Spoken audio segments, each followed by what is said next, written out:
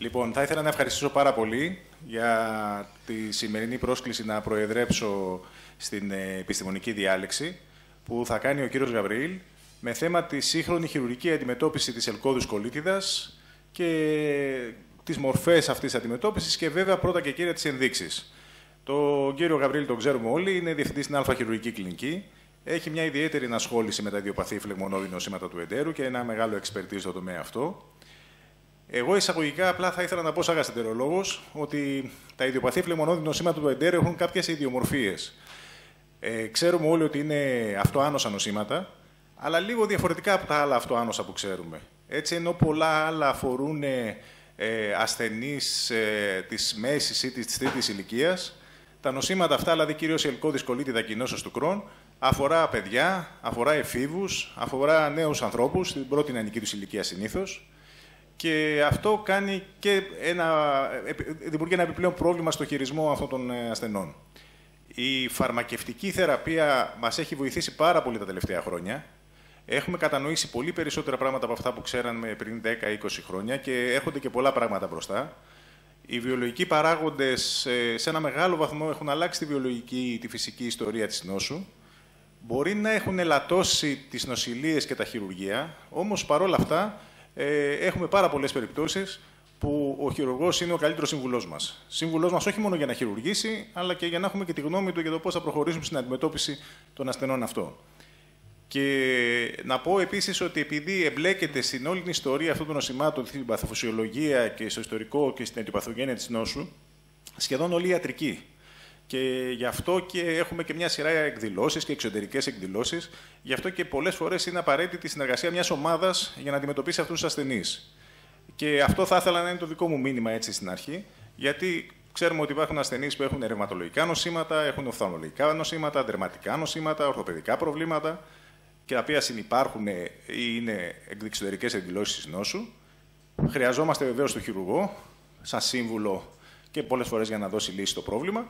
Και όχι μόνο αυτό, να μην ξεχνάμε ότι πολλές από αυτές τις νέες κοπέλες ξεκινάνε τη ζωή τους, θέλουν να κάνουν οικογένεια, θέλουν να κάνουν παιδιά. Άρα θα χρειάζεται και η συνεργασία και του γαστρολογού με τον γυναικολόγο. Ε, καλό λοιπόν τον κύριο Γαβρίλ να μας αναπτύξει το θέμα. Ευχαριστώ. Ευχαριστώ πολύ κύριε Δανδάκη. Ευχαριστώ και όλους εσάς που είστε εδώ αυτό το μεσημέρι Παρασκευής. Σας προχωρήσω κατευθείαν. Σήμερα θα μιλήσω για τις ενδείξεις και για το, τους τύπους των επεμβάσεων ε, στην ε, χειρουργική αντιμετώπιση της ελκόδους κολίτιδας.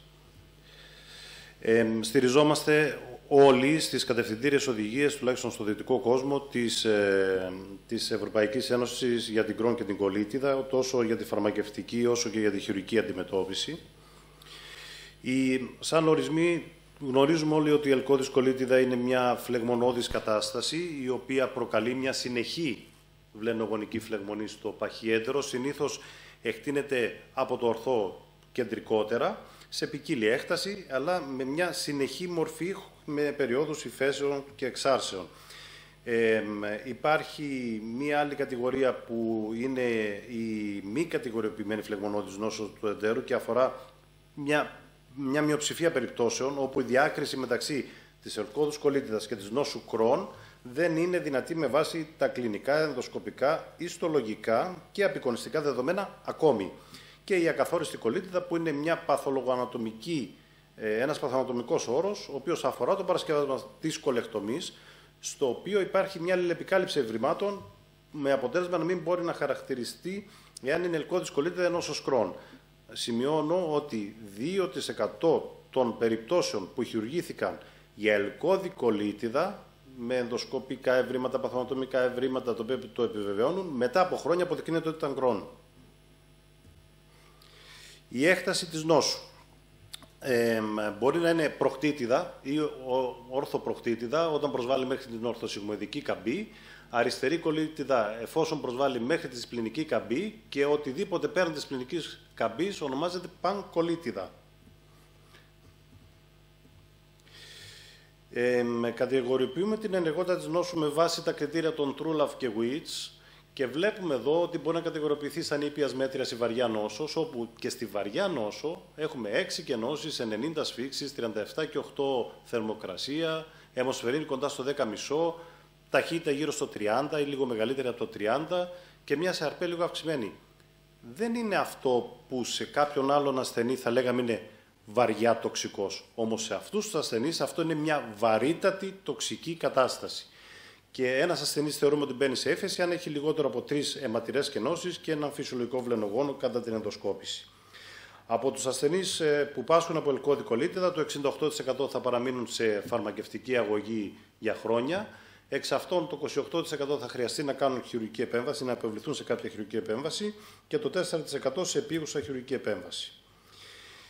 Γιατί είναι πρόκληση για το χειρουργό; Διότι συνήθως έχουμε νέους ασθενείς με μια καλοήθη νόσο, οι οποίοι παρουσιάζουν αιμοδυναμική αστάθεια, ανεπάρκεια κάποιου ή περισσότερων οργάνων, παίρνουν φαρμακευτική ανασοκαταστολή, έχουν ηλεκτρολιτικές διαταραχές, έχουν υπολευκοματινεμία και έχουν και κακή θρέψη.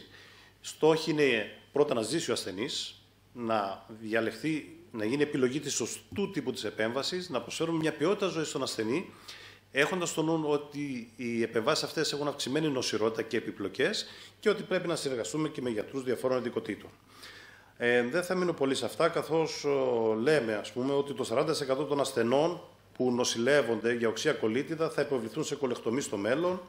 Το 50% από αυτούς που θα πάρουν infliximab θα υποβληθούν σε κολεκτομή στα επόμενα τρία χρόνια. Τώρα με τα καινούργια νοσοτροποποιητικά αλλάζει κάπως αυτό. Ενώ το 80% των ασθενών που ανταποκρίθηκαν στην κυκλοστοπορίνη θα υποβληθούν σε κολεκτομή τα επόμενα 7 χρόνια. Πόσο επηρεάζουν τα κορτικοστεροειδή την, ε, τις μεταχειρητικές επιπλοκές; Είναι δόσο εξαρτώμενο και αυξάνουν πάρα πολύ τον κίνδυνο των μεταχειρητικών επιπλοκών. Όσο περνάνε τα χρόνια, τόσο απομακρυνόμαστε από τη χρήση των κορτικοστεροειδών. Ε, η θεραπεία με τα κορτικοστεροειδή διπλασιάζει τον κίνδυνο αναστομωτικής διαφυγής σε οποιονδήποτε ασθενή που υποβάλλεται σε επέμβαση ε, στο πεπτικό. Ενώ, σύμφωνα με τη δήλωση της ΕΚΟ, οι ασθενείς οι οποίοι παίρνουν πάνω από 20 μιλιγκράμμ περδινιζολόνη για διάστημα μεγαλύτερο από 6 εβδομάδες, και αυτό δεν είναι σπάνιο, βρίσκονται σε έναν αυξημένο κίνδυνο για να παρουσιάσουν πρώιμες επιπλοκές. Οπότε πρέπει να αποσύρουμε τα κορτικοστεροειδή ή δυνατόν να τα διακόψουμε, αλλιώς θα οδηγηθούμε σε δισταδιακή ή τρισταδιακή επέμβαση, όπως θα σας αναπτύξω παρακάτω, ενώ η μονοσταδιακή επέμβαση απαγορεύεται. Ποια είναι η λογική πίσω από την αντιμετώπιση, της χειρουργική αντιμετώπιση της ελκόδους κολίτιδας. Είναι ότι αναφερόμαστε σε μία νόσο η οποία προσβάλλει το ορθό και το παχιέντερο. Δεν προσβάλλει το λεπτοέντερο. Άρα, εάν απομακρυνθεί αυτό το όργανο στόχος, θα προσφέρει 100% θεραπεία. Είναι η μόνη και σίγουρη θεραπεία.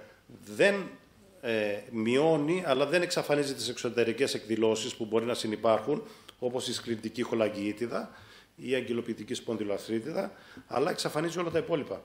Και ο στόχος είναι να επανέλθει ο ασθενής με φυσιολογικές λειτουργίες και σε ένα φυσιολογικό τρόπο ζωής. Μπορεί να χρειαστεί να χειρουργηθούν επιγόντως ή προγραμματισμένα οι ασθενείς αυτοί. Και στις ενδείξεις για την επίκουσα χειρουργική θεραπεία είναι η βαριά νόσος η οποία έχουμε, ε, δεν ανταποκρίνεται στη μέγιστη φαρμακευτική θεραπεία όταν βρίσκεται σε έξαρση ή να, πρέπει να αντιμετωπίσουμε σοβαρές επιπλοκές της νόσου που μπορεί να είναι μια μαζική μη ελεγχόμενη αιμορραγία, το τοξικό μεγάκολο, διάτρηση ή στένωση, οξία στένωση ή απόφραξη με υποψία κακοήθειας. Ε, βλέπουμε ότι με τα χρόνια, από το, συγκριτικά από το 1975 μέχρι το 2007, οι ασθενείς οι οποίοι χειρουργούνται ή έχουν ανάγκη να χειριστούν με την ελκώδη κολλήτα έχουν υποδιπλασιαστεί. Ασθενείς που χειρουργούνται για τοξικό μεγαλάκολο έχουν υποτριπλασιαστεί, ενώ έχουν αυξηθεί οι ασθενείς οι οποίοι χειρουργούνται για μη ανταποκρινόμενη νόσος και έχει μειωθεί η εθνικότητα και η νοσηρότητα. Ε, Ένας ασθενής ο οποίος εισάγεται στο νοσοκομείο με μια βαριά αλκωδικολίτιδα θα τεθεί σε αγωγή με κορτικοστεροειδή. Από αυτούς τους ασθενείς, το 30% θα χρειαστεί να υποβληθούν σε κολεκτομή. Εάν δεν ανταποκριθεί, θα τεθεί σε επιπλέον αγωγή με, ε, με ή με κυκλοσπορίνη ε, και εφόσον ανταποκριθεί όλα καλά, εάν δεν ανταποκριθεί θα πρέπει να πάει σε κολεκτομή και αυτό είναι, αφορά ένα επιπλέον ποσοστό 10 με 20% των ασθενών. Ε, και από τους ασθενείς που θα έχουν μερική ανταπόκριση, το 60% θα υποβληθούν σε κολεκτομή στους επόμενους μήνες.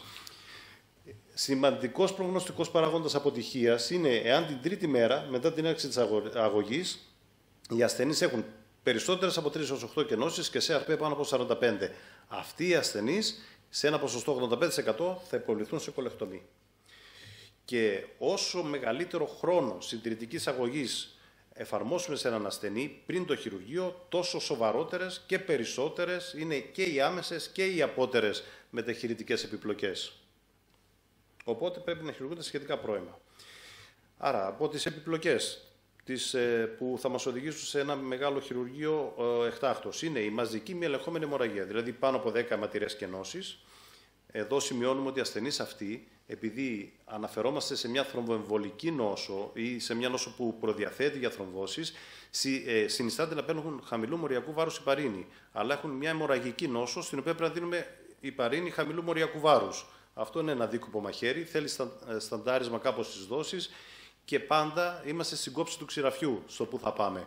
Οπότε, ε, έχει επίσης βρεθεί ότι ο, ο εμβολισμός με αγκαιογραφία δεν προσφέρει ικανοποιητικά αποτελέσματα και έχει εγκαταληφθεί και πρέπει φυσικά να υπάρχει και διαθέσιμο αίμα και παράγοντα, παράγωγα αίματος, γιατί καμιά φορά μπορεί να αναγκαστούμε να οδηγηθούμε σε χειρουργείο λόγω έλλειψης αίματος.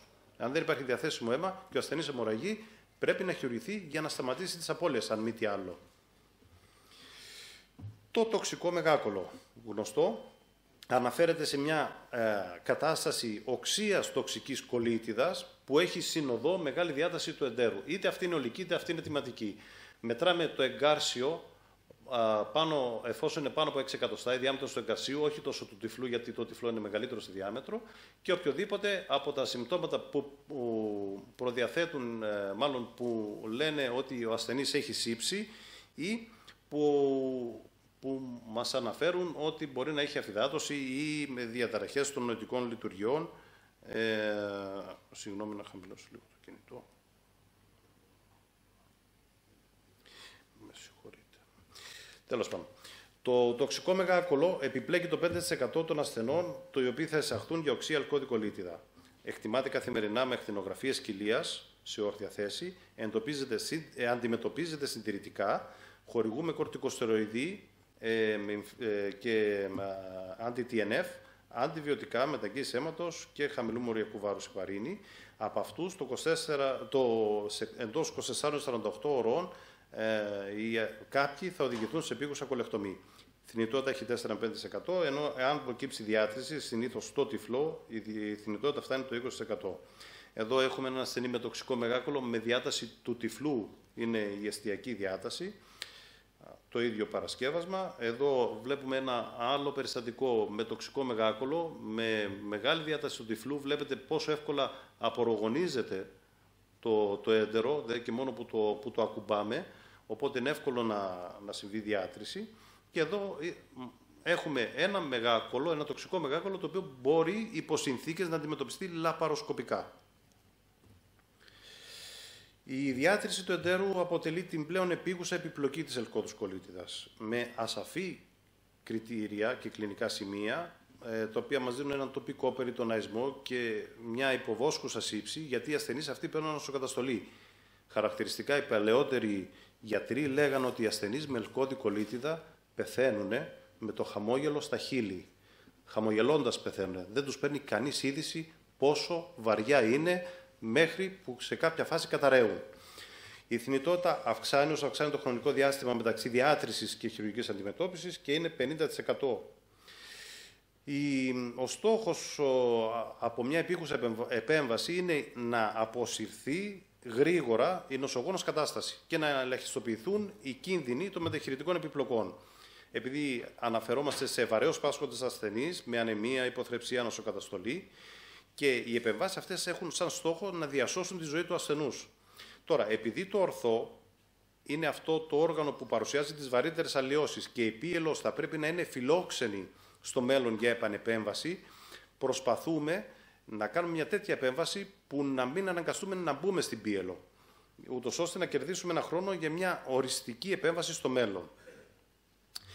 Και στις επίγουσες επεμβάσεις ουσιαστικά είναι η φωλική κολεκτομή, στα αγγλικά λέγεται total colectomy, εννοώντας να διατηρήσουμε το ορθό, τελική ηλιοστομία και σύγκληση του ορθικού κολοβώματος κατά Χάρτμαν ή ε, εκτροπή του ορθικού κολοβώματος σαν βλενόδε συρίγγιο. ούτως ώστε να μην έχουμε καμία αναστομωτική ραφή εντός της περιτοναϊκής κοιλότητας.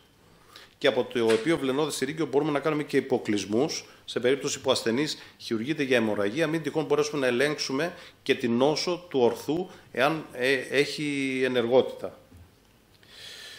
Ε, σε ασθενείς που έχουν ανεπαρκή προχτικό σφιχτήρα ή οι οποίοι έχουν αποφασίσει ότι δεν θέλουν να μπουν στη διαδικασία α, επέμβασης αποκατάστασης, μπορεί να υποβληθούν σε μία επέμβαση και μόνο. Δηλαδή με ολική προκτοκολεκτομή και μια τελική λεοστομία, η οποία μπορεί να είναι ε, ε, τύπου Μπρουκ ή τύπου Κόκ.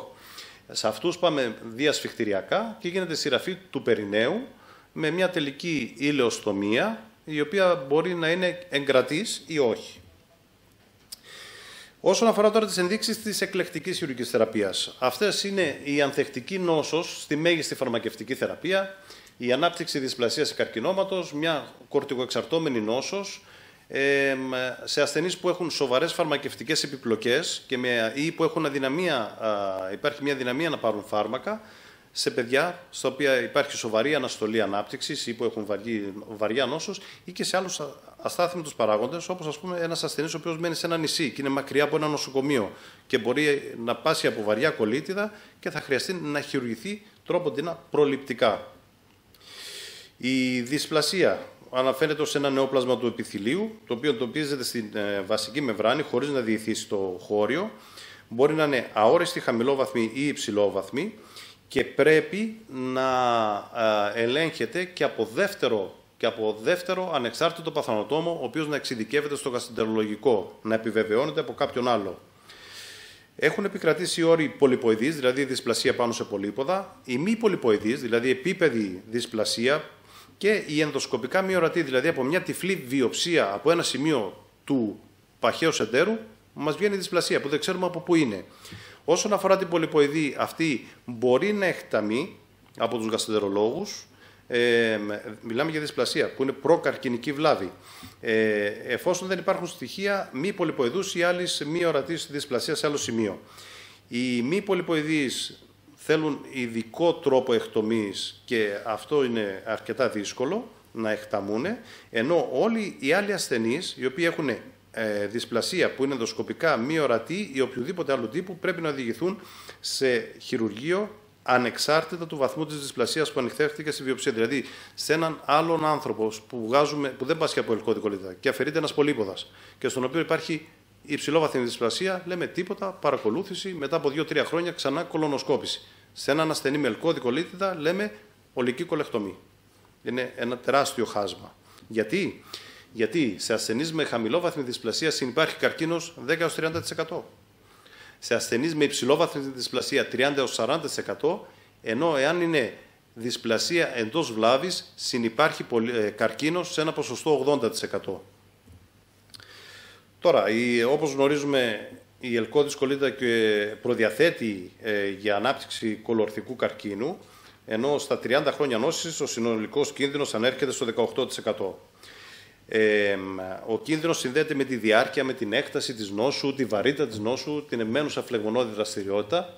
Οι ασθενείς που έχουν παγκολίτιδα, μεγαλύτερο κίνδυνο από αυτούς με αριστερή κολίτιδα και από αυτούς με ορθίτιδα, ενώ η συνυπάρχουσα πρωτοπαθής σκληρητική χολαγκίτιδα και το θετικό ιστορικό ε, της οικογένειας για κολορθικό καρκίνο προσθέτουν επιπλέον κίνδυνο για την ανάπτυξη καρκινώματος τα αδενοκαρκινώματα στην ελκώδη-κολίτιδα δεν ακολουθούν τη γνωστή εξέλιξη του αδένομα προς καρκίνωμα. Είναι διαφορετικού τύπου μεταλλάξεις, γι' αυτό και λέγονται colitis related colorectal cancer. Η χειρουργική επέμβαση εκλογής είναι ολική προχτοκολεκτομή και ελοπροκτική αναστόμωση που θα την αναλύσουμε μετά. Σε ηλικιωμένους ή εξασθενημένους ασθενείς μπορούμε να κάνουμε μερική κολεκτομή και με ή χωρίς αναστόμωση, οι οποίοι έχουν μικρότερο διάστημα ελεύθερων νόσου, λόγω εμένουσα ανοσοκαταστολής, αλλά αυτά μπορούν να πάρουν. Ενώ σε πολύ χαμηλά καρκινώματα που υπάρχει διήθηση του σφιχτήρα, και αυτό είναι το κριτήριο, πρέπει να γίνει ολική πρόκτοκολεκτομή και τελική ηλιοστομία. Κατά τη διάρκεια της εγκυμοσύνης, σε μια ασθενή που πάσχει από ελκώδη κολίτιδα, πρώτον δεν προβαίνουμε σε υποβάθμιση της αγωγής. Η χειρουργική επέμβαση έχει έναν αυξημένο κίνδυνο αποβολής στο πρώτο τρίμηνο ή πρώιμου το, το κετού στο τρίτο τρίμηνο. Η παρατεταμένη έξαρση της νόσου αποτελεί μεγαλύτερο κίνδυνο και για το έμβριο και για τη μητέρα.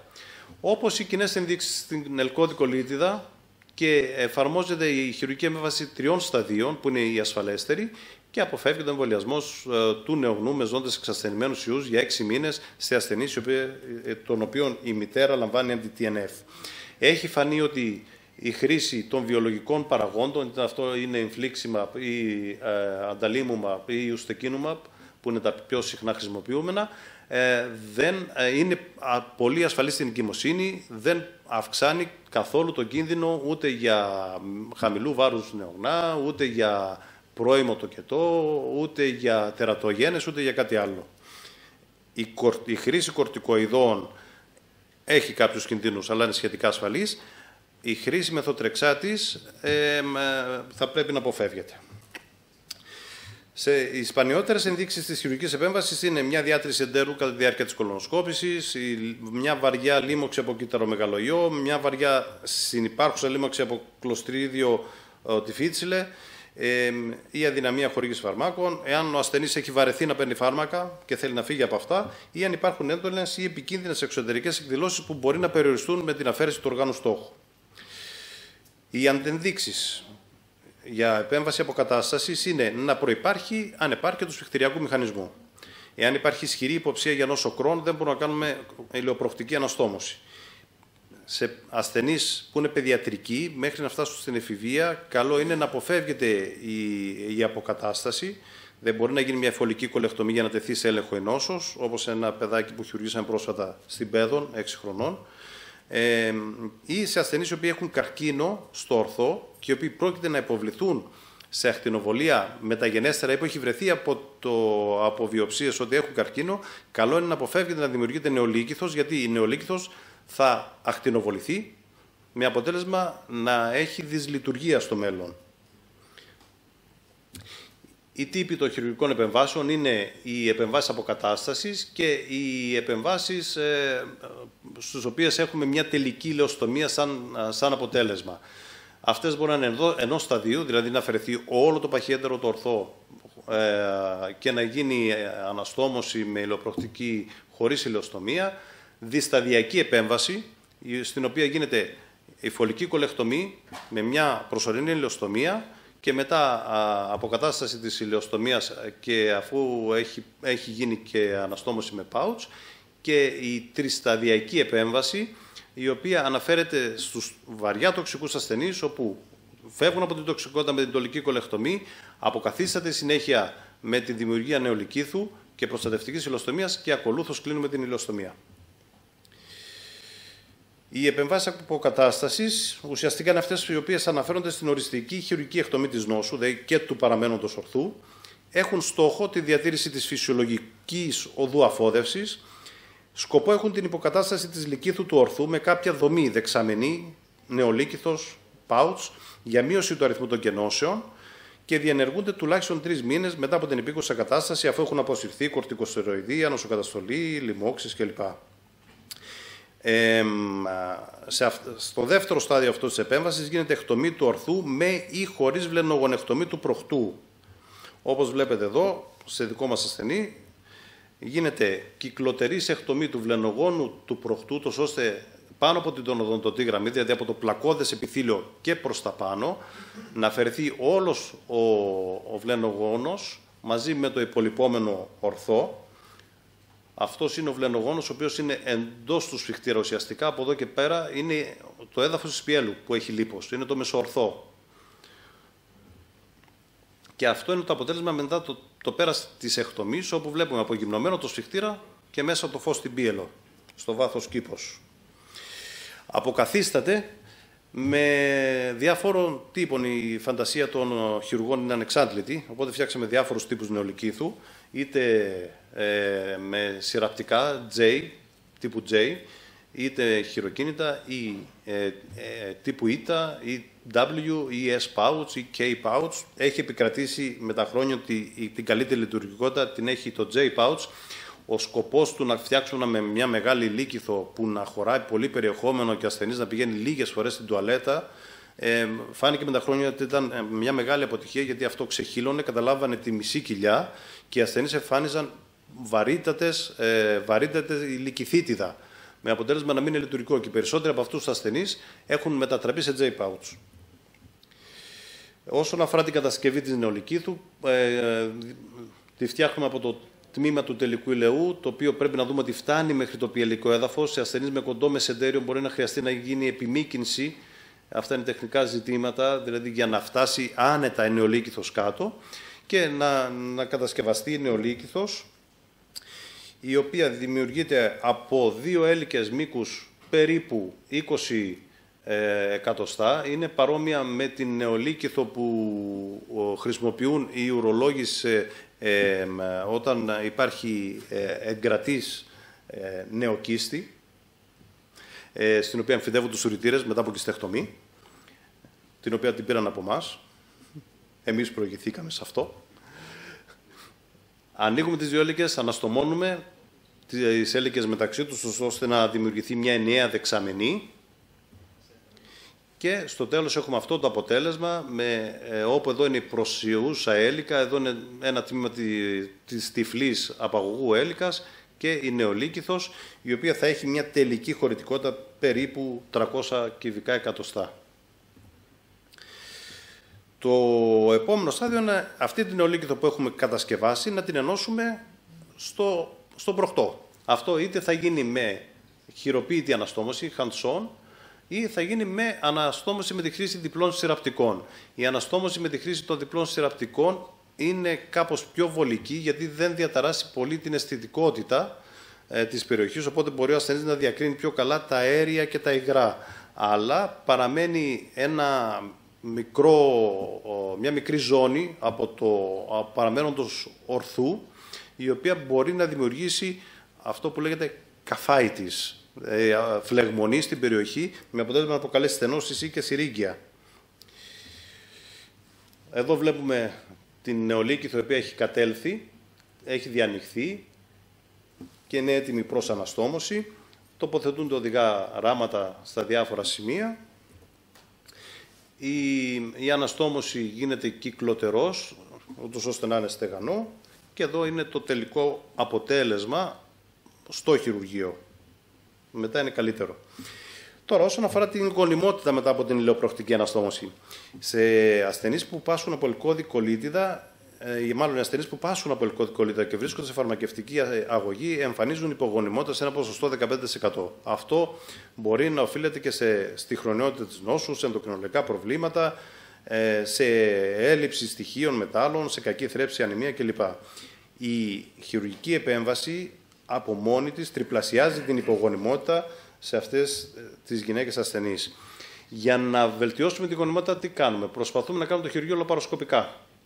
Προσπαθούμε να διατηρήσουμε το επίπλουν και να το τοποθετήσουμε σε σημείο τέτοιο, ούτως ώστε να μην έρθουν σε επαφή οι σάλπιγγες και οι οθήκες με τα σπλάχνα πλένουμε πολύ καλά την κοιλιά και τοποθετούμε αντισυμφυτικές μεμβράνες γύρω από τις άλπικες και τις οθήκες. Εδώ είναι η νεολίκηθο του J Pouch που έχει αναστομωθεί κάτω και εδώ έχουν, έχουν περιτυλίξει τις άλπικες και τις οθήκες με αντισυμφυτικές μεμβράνες οι οποίες μειώνουν, κατα, ε, υποδιπλασιάζουν μάλλον τον κίνδυνο υπογονιμότητας σε αυτές τις ασθενείς. Όσον αφορά την προφυλακτική λεοστομία αγκύλης, η οποία δημιουργείται στην, κατά τη διάρκεια, κατά το πέρας της επέμβασης για να μας προστατεύσει την ένωση μας εδώ, αυτή καλό είναι να μην αναστρέφεται σε χρονικό διάστημα λιγότερο των δύο εβδομάδων, καθώς σε μια μελέτη που επιχειρήθηκε να γίνει αυτό, η μελέτη αυτή διακόπηκε αφού οι ασθενείς του πρώιμου γκρουπ είχαν πολύ μεγαλύτερο αριθμό επιπλοκών, 70% έναντι 17% σε σύνολο και 30% έναντι 0% για βαριές επιπλοκές. Οπότε κρίθηκε ανήθικο και σταμάτησε η μελέτη και θεωρείται ότι οι ασθενείς αυτοί δεν πρέπει να υποβάλλονται σε πρώιμη σύγκληση ηλιοστομίας και το καλύτερο θα ήταν η αναστροφή της ηλιοστομίας να γίνει σε διάστημα 2 ή 3 μηνών. Πολλές επιπλοκές εμφανίζουν αυτοί οι ασθενείς μετά το χειρουργείο, οι πρώιμες επιπλοκές, η λυκηθήτιδα, η λίμωξη του τραύματος, η απόφραξη του εντέρου σαν παραλυτικός ηλαιός, σύψη, αναστομωτική διαφυγή και άμεσα συρρήγια και απότερες επιπλοκές που, έχουν, που είναι υψηλές σε ποσοστό όπως αποφρακτικός ηλαιός, ακράτεια κοπράνων, αυτό μπορεί να, μπορεί να αφορά και μόνο το λέρωμα κατά τη διάρκεια της νύχτας, γι' αυτό είναι τόσο ψηλά τα ποσοστά, δεν, δεν τους φεύγουν στη διάρκεια της μέρας, γιατί συνήθως ο έξω σφιχτήρας είναι ικανός να τα συγκρατήσει. Ανεπάρκεια νεολικήθου, με αποτέλεσμα να αφαιρείται νεολίκηθος, χρόνια λυκηθήτητα που μπορεί να χρειαστεί να παίρνει και αυτό νοσοκατασταλτικά και καταστάσεις που προσωμιάζουν με την νοσοκρόν στην νεολίκηθο. Οπότε μπορεί ένα ασθενής που προσπαθεί να φύγει από όλη αυτή τη φαρμακευτική αγωγή να καταλήξει να ξαναπαίρνει την ίδια φαρμακευτική αγωγή και συρρήγγια σε ένα ποσοστό περίπου 8%. Ε, μια άλλη επιλογή είναι να διατηρηθεί το ορθό και να γίνει μια ήλαιο-ορθική αναστόμωση. Όμως παραμένει η φλεγμονώτη νόσος στο ορθό και ο κίνδυνος κακοήθειας είναι 6% στα 20 χρόνια και 15% στα 30 χρόνια και μιλάμε για νέους ασθενείς που έχουν χρόνια μπροστά τους, οπότε δεν αμεληταίο ο κίνδυνος και χρειάζεται συχνή επιτήρηση. Οι ασθενείς αυτοί θα συνεχίσουν κατά πάσα πιθανότητα να παίρνουν ανοσοκατασταλτικά και ανοσοτροποποιητικά φάρμακα, ενώ υποψήφιοι είναι ασθενείς που δεν μπορούν να υποβληθούν σε ηλιοπροκτική αναστόμωση, δεν θέλουν ηλιοστομία με κανέναν τρόπο και παρουσιάζουν ιατρικές καταστάσεις στις οποίες αντεδείκνυται η ηλιοστομία, όπως σπηλαία υπέρταση και ασκήτης. Ή γυναίκες ασθενείς που δεν επιθυμούν, ε, που δεν είναι επηρεαστή η γονιμότητά τους, αφού εφόσον δεν θα, δεν θα μπει κάποιος στην πίελο να χειρουργήσει, μπορεί να διατηρηθεί η γονιμότητα για κάποια χρόνια και όταν τεκνοποιήσουν, μετά να πάει και να προβεί στην επέμβαση εκτομής και αποκατάστασης με, με νεολίκηθο. Επίσης, ασθενείς με ακαθόριστη κολλήτα, στους οποίους δεν μπορεί να αποκλειστεί νόσος κρόν, και ασθενείς με ελκώδη κολλήτα και προχωρημένη κακοήθη νόσο, καθώς αυτοί έχουν ένα μειωμένο προσδόκιμο ζωής. Οι διάφοροι τύποι των επεμβάσεων με, τις, ε, με, τις, ε, με τα πλεονεκτήματα και τα μειονεκτήματα, όπως τα είχαμε πει, ενώ η καθημερινότητα, η καθημερινότητα των ασθενών αυτών πώς είναι; Έχουμε ασθενείς που είναι νέοι, κυρίως, έχουν ένα συνήθως αυξημένο αριθμό κενώσεων, δηλαδή οι κενώσεις τους κυμαίνονται από 4 έως 6 την ημέρα, έχουν διατητικούς περιορισμούς, δηλαδή οι περισσότεροι και εμείς συνιστούμε να αποφεύγουν ε, την κατανάλωση, υψηλή κατανάλωση φυτικών ινών, δηλαδή αυτοί όλοι οι ασθενείς έχουν στο νου τους ότι κάτι πρέπει να προσέχουν στη ζωή τους, ε, ζουν με μια πιθανότητα μετάχρονων επιπλοκών, δεν φοβούνται ότι θα κάνω μια κύλη, θα κάνω ηλαιό, θα κάνω κάτι αυτό. Πολλές φορές εμφανίζουν περιεδρικό ερεθισμό, γιατί έχουν αρκετές κενώσεις, έχουν ένα άγχος αν θα μπορέσουν να τεκνοποιήσουν ή και εφόσον πάνε για το κετό, οπωσδήποτε πρέπει να γίνει και σαρική τομή. Σε αυτούς εμείς σχεδόν απαγορεύουμε το να, να προσπαθήσουμε να γίνει φυσιολογικός στο κετός ή επισιοτομή. Γιατί όλη η επέμβαση στηρίζεται στην, σε έναν ισχυρό σφιχτήρα. Εάν επηρεαστεί κατά τον οποιοδήποτε τρόπο ο σφιχτήρας, ο ασθενής αυτός ή η ασθενής αυτή πιθανόν να καταδικαστεί και μόνο από τον τοκετό σε μόνιμη ηλιοστομία. Είναι ψυχολογικά επιβαρημένοι, έχουν ουλές, έχουν προβλήματα στο να κινηθούν έξω. Γι' αυτό προσπαθούμε με τις λαπαροσκοπικές ρομποτικές επεμβάσεις να τα μειώσουμε αυτά. Γυμναστήριο μπορούν να κάνουν. Έχω ασθενείς που, που κάνουν bodybuilding, είναι μια χαρά. Φυσικά σκέφτονται αν αυτό που έχουν θα πάει στα παιδιά τους. Υπάρχει μια κληρονομική επιβάρυνση της ελκόδους κολίτιδας, ε, αλλά όχι τόσο μεγάλη που να πρέπει να, να αποφεύγουν να κάνουν παιδιά μπορεί να αντιμετωπίζουν τις εξωτερικές εκδηλώσεις της νόσου και μπορεί να έχουν και κάποια δυσαπορρόφηση στοιχείων, βιταμινών, μπορεί να παρουσιάσουν προβλήματα που δεν τα σκεφτόμαστε, δηλαδή μπορεί, είναι, συχνά παρουσιάζουν ε, λιθίαση του ροπητικού, γιατί έχουν μεγαλύτερη απορρόφηση των αξαλικών οξέων. Είναι ε, και για τα οποία πρέπει να τους προειδεάσουμε, να το ξέρουν, γιατί είναι κάτι το οποίο είναι σε ένα αυξημένο ποσοστό. Αλλά υπάρχουν και οι ασθενείς που μας ευχαριστούν. Όπως είναι αυτό το κοριτσάκι που σας είχα πει πριν, το οποίο την τέταρτη μέρα μετά από λαπαροσκοπική κολεκτομή, 6 χρονών, που την κάναμε απέναντι στην Πέδων, σε συνεργασία με συνάδελφο παιδοχειρουργό, και ενώ ήταν 20 μέρες στο νοσοκομείο με βαριά σύψη, με αιμορραγία, ε, μας έδωσε μια ζωγραφιά όταν πήγαμε γιατί έγινε καλά. Και το κοριτσάκι αυτό τώρα έχει το σακουλάκι της ηλιοστομίας και ψάχνουν να βρουν μικρά σακουλάκια να προσαρμόζονται στο σώμα του για να πηγαίνει στην πρώτη δημοτικού, μέχρι να δούμε πώς θα προχωρήσει στη ζωή του. Και το οποίο το ανέχεται πάρα πολύ καλά. Και είναι και ευχαριστημένο γιατί τώρα μπορεί να φάει ό,τι θέλει. Ενώ πριν είχε μεγάλους περιορισμούς. Άρα, καταλήγοντας, η αλκότης κολίτιδα είναι μια πολύ σοβαρή και μια πολύ διάστατη νόσος. Η διαχείριση των ασθενών, όπως είπε και ο Δημήτρης, είναι πολυπαραγωγική και απαιτεί μια πολύ καλά ενημερωμένη ομάδα ιατρών διαφόρων ειδικοτήτων. Οι ασθενείς οι οποίοι πρόκειται να χειρουργηθούν πρέπει να ενημερώνονται ενδελεχώς για την επιλογή του τύπου της χειρουργικής επέμβασης, τις πιθανές επιπλοκές που μπορεί να έχουν και το προσδοκόμενο αποτέλεσμα. Η αντιμετώπιση δε των επιπλοκών αποτελεί μια πρόκληση τόσο για τον θεράποντα γιατρό, αλλά και ο οποίος πρέπει να έχει βαθιά γνώση και εμπειρία από τέτοιου είδους επιπλοκές. Και η ποιότητα ζωής είναι το σοβαρότερο κριτήριο για τις επιλογές των ασθενών. Δηλαδή, ο σκοπός μας είναι να τους προσφέρουμε μια καλή ποιότητα ζωής. Ευχαριστώ πάρα πολύ.